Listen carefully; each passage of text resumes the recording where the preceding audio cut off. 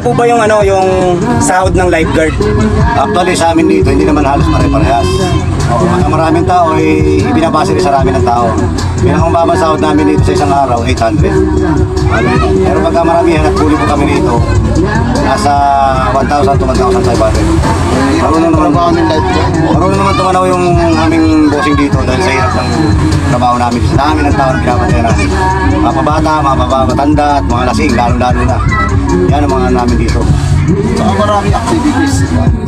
Marami rin yung ano, asikaso na rin namin yung pagpangka ng mga tao. Overcapacity, overloading, pinabababa po namin yan for safety lang.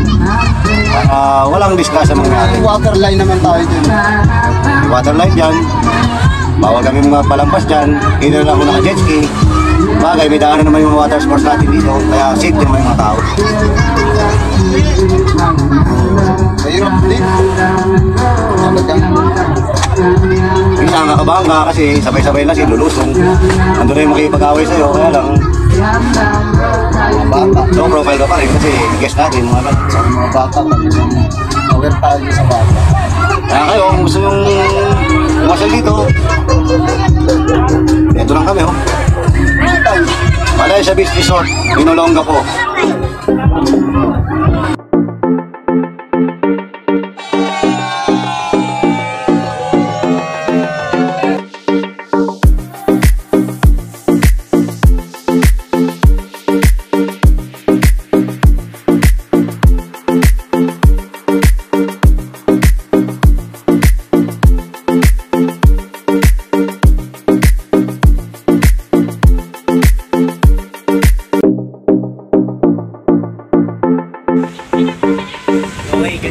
Ang buhay ng lifeguard.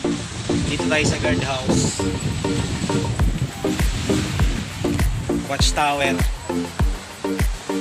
Ang sweldo ng lifeguard ay isang libo isang araw. Mag-umpisa ka ng ah, alas 5 ng madaling araw, uwi ka ng alas 7 ng gabi. Ganun kahaba ang oras. Staring at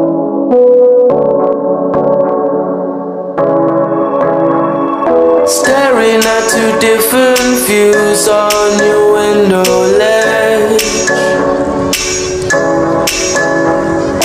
Coffee is gone cold.